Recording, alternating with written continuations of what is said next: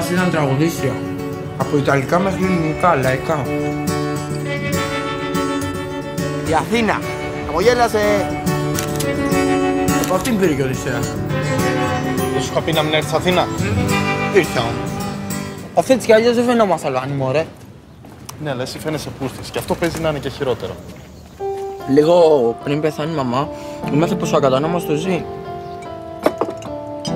Έχει κάνει και λεφτά, ε. Ντάνι Χαρόε, νούκα έχεις τον παπά, τι δε. Πάμε στη Θεσσαλονίκη, ρε. Ότι πάμε να φύγουμε, έλα, είναι η κατάλληλη στιγμή, ρε. Και μετά θα πάμε και στον ακατανό μας, να του πάρουμε λεφτά και την ηθαγένεια, ρε.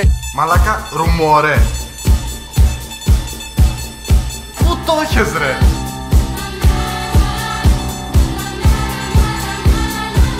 Δεν το πιστεύω. Καλά, ρε Οδυσσέα. Εσύ δεν το θυμάσαι καθόλου; Εγώ το θυμάμαι λίγο. Που σου να δω τα δύο χρόνια στις 100.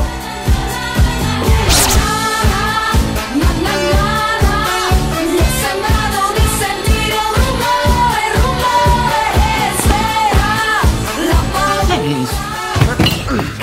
Ο άντρας σας, ο Λευτέρης Χριστόπουλος, είναι ο πατέρας μου. Ο βιολογικός που λένε. Αυτός είναι, ρε, ότι αυτός είναι. Λέγε το είπες ή δεν το είπες; Λέγε το είπες γιατί εγώ περίμενα. Μίλα! Μίλα